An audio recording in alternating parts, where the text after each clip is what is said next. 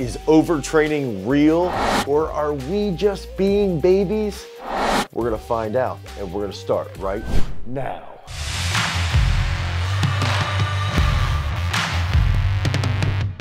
Okay, so the main thing that we're gonna focus on here is what is overtraining. We know that athletes get into these deep, dark places. We know that athletes start to struggle with various aspects around strength training. They start to think and question their entire life, their entire existence. Should they really go on as an athlete?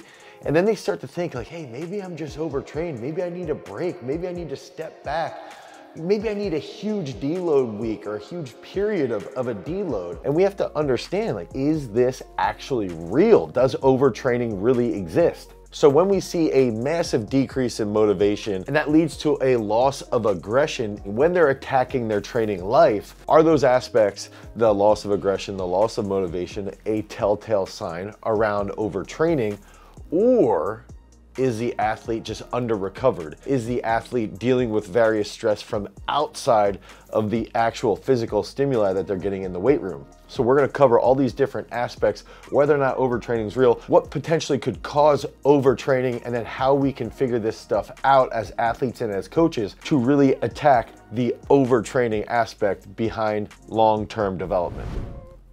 Okay, so in literature, what is the scientific definition of overtraining syndrome? Overtraining syndrome is defined as being maladapted to stimuli, leading to perturbations in multiple body systems, creating underperformance. And so technically this is seen as a performance decrement for at least two months, ideally two plus months. So two months, three months or more, that's where we're gonna see a decrease in overall performance of the athlete. From the literature being an unexplained underperformance. I sort of see this ironically as it's all on the athlete. The underperformance is really the cause is from the athlete. Inside the literature, there's nothing that says Maybe the coach sucks. Maybe the coach uh, didn't create a proper periodization scheme. Maybe the coach wasn't listening to the athlete. It's more so as an unexplained underperformance. And so some of those symptoms that athletes will see outside of their unexplained underperformance is fatigue, loss of motivation, depression, hypertension, anxiety, weight loss, endocrine problems, so some issues with their hormones, and then loss of concentration. And so epidemiology is telling us that it's a very rare situation but it doesn't mean that this isn't happening in sports. So it is rare from the clinical perspective, but we also have to realize that it's rare to be training long term. It's rare to be training at an elite level. So the actual rate inside the high performance industry might be higher than we actually realize. And so how can this help us? I think the first step is like, what causes this unexplained underperformance? How can we figure out the cause behind those overall symptoms. And so first we have to look at, all right, if we're looking for an adaptation from an athlete, we want to target the athlete with these overreaching principles. We can create a massive amount of stimuli. They're doing heavy squats, they're doing heavy weightlifting movements, they're doing plyometric movements, they're doing their technical sport, and maybe they're in an intense phase of their technical sport as well. And all of those things cause the body to sort of break down over time and become fatigued. And so if the individual is not recovering effectively, that leads to this overreaching over a long period of time, which forces the athlete into the dark depths of misery, right? If we understand that that can cause overtraining, that can cause that drop off, we have to take that next step and say, all right, we need our athletes to recover as effectively as possible. We need the athletes to eat well, to sleep well, to do their mobility, to meditate, to focus on their overall mindfulness. And so the next thing that we have to start to bring in is if someone is under recovering or if they're being overtrained, has there been a new stimulus that the coaches might not be factoring in. So maybe there's outside work that starts to come into play. The individual has a new job, they're working more hours, it's more physically demanding, it's more mentally demanding. So that can also lead to a massive increase in overreaching, which then can lead to that underperformance. And oftentimes, what we even see is an actual physical response where athletes start to change their nutrition without even recognizing it. They're having this decrease in motivation because of all the external stress that they might be bringing upon themselves and so they're eating less. Uh, they have that loss of appetite, which then leads to a lower level of glycogen stores, which then leads to a lower positive feeling as they get into training, as they get into the weight room. And that can lead to an increase in 5-HTP, which can lead to an increase in tryptophan uptake, which then starts this negative cascading effect. So we know that an increase in external stress can lead to overtraining. We know that altering nutritional intake can decrease glycogen storage in the actual muscles, which can lead to a negative feeling. And then we also know that excessive oxidative work, so excessive amounts of aerobic training can also lead to overtraining.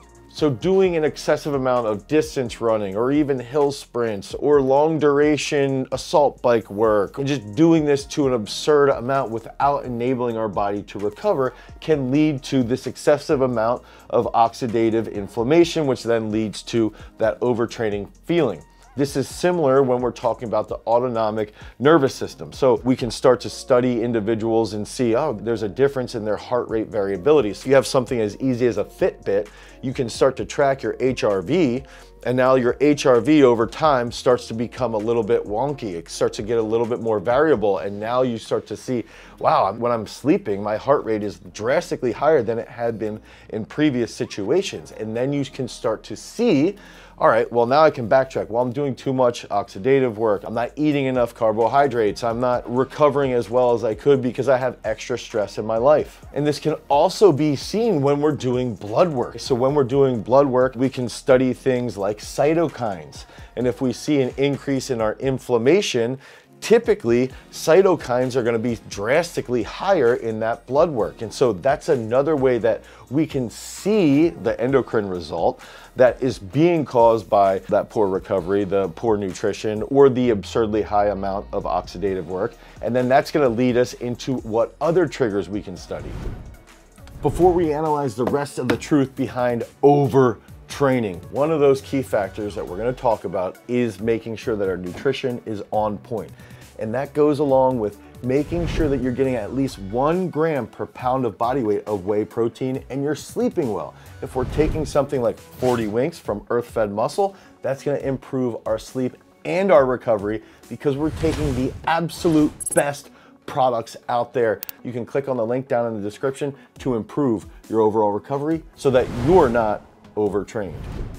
And so a couple other triggers that we have to be aware of as coaches and as athletes is monotony in training, okay? Doing the same thing over and over and over again can lead to overtraining. Having too many competitions in a short period of time, that can also lead to a feeling of overtraining, mainly because you don't have the ability to back off from high intensity work and then try to recover. Or maybe you go through this high intensity phase and then immediately have to get back into a high volume phase before you cut the volume, lead to more high intensity, and then get into that stressful competitive state. This is different for team sports in comparison to individual sports. And that's another key trigger is that most overtraining scenarios are going to be related entirely to individual sports. And then finally, we have to bring back up if you're adding external stress to your life, that could cause a feeling of overtraining. So taking on more roles at a job, taking on more responsibility in life. You have a child, maybe you have more bills that you need to be paying because you lost funding from your NGB.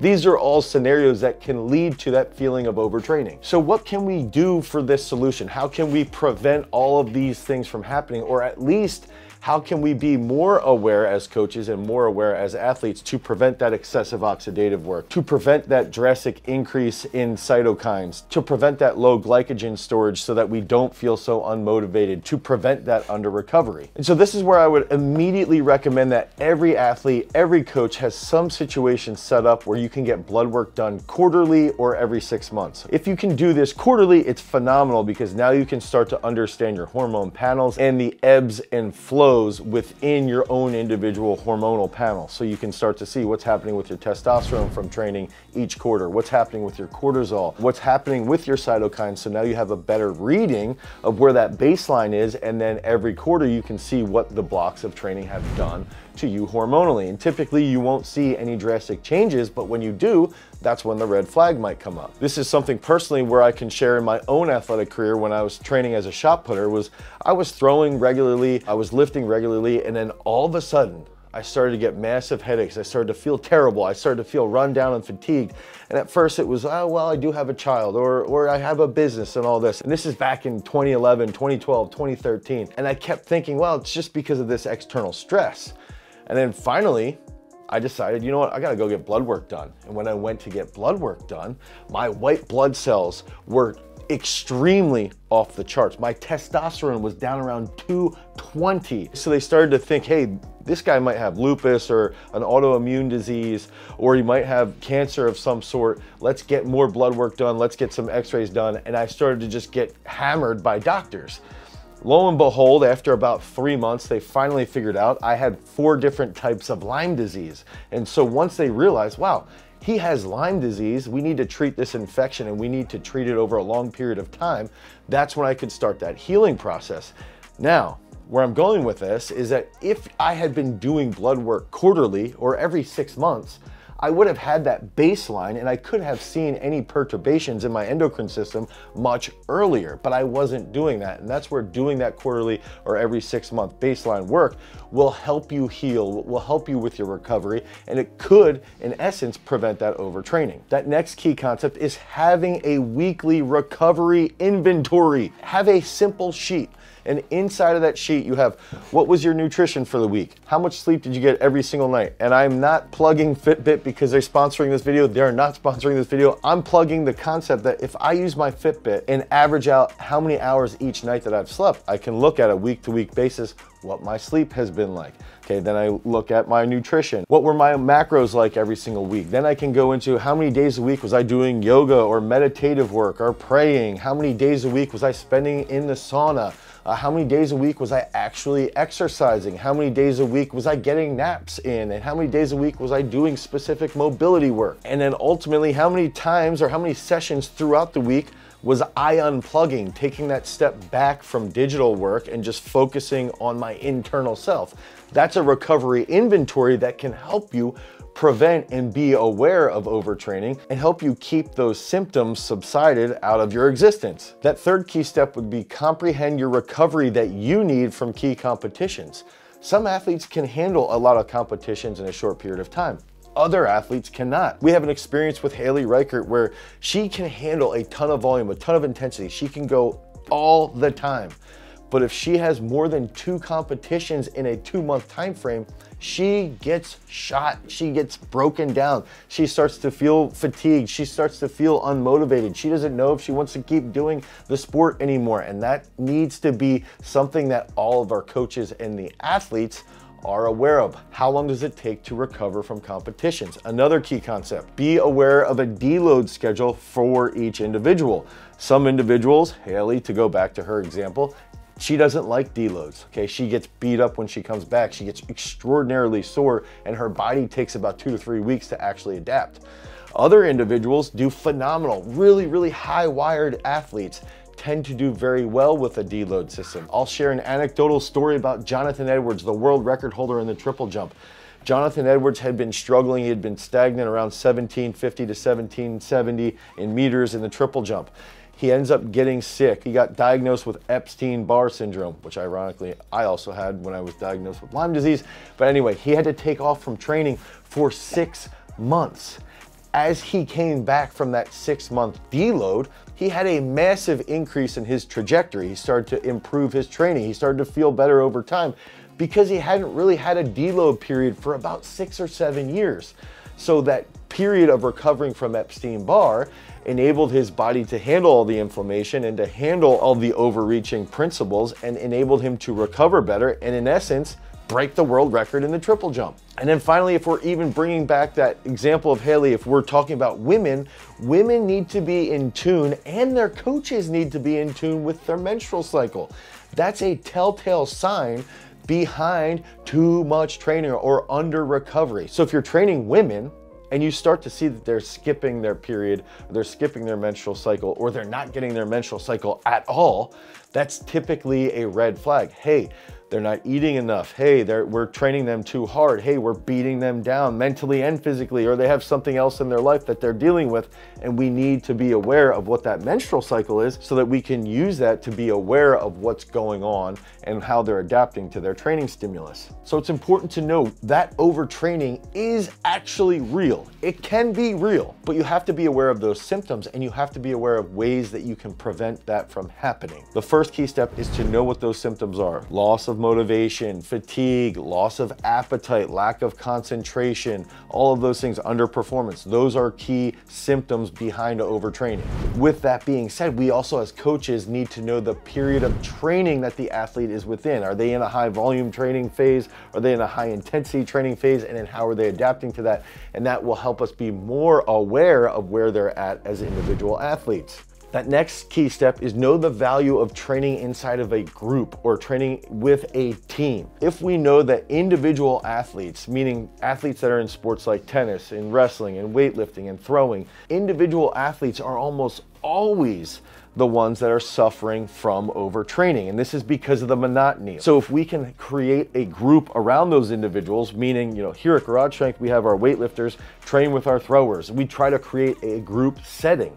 Now we have a team and that can diminish the level of monotony. And now because it's squashing that monotony, it makes training a little bit more enjoyable and the motivation remains a little bit higher. That next key is that we always have to get that proper blood work done at least every six months. Ideally, it would be quarterly. And then finally, you have that recovery inventory where you understand what your nutritional aspects are each week. You understand how much sleep you're getting, how much meditative work, how much mindfulness you're doing, how much mobility that you're doing, so that in turn prevents overtraining. If you're a coach and you see that you're more prevalent to cause overtraining in your athletes, click on the link down below, head over to garagestrength.com and you can pick up our sports performance Bible to help you become a better coach and solve all of your athletes' problems so that they perform at a high level and become world class. Remember, you've always got to recover as well as possible and when you go into the gym, you have to cultivate your power. Peace.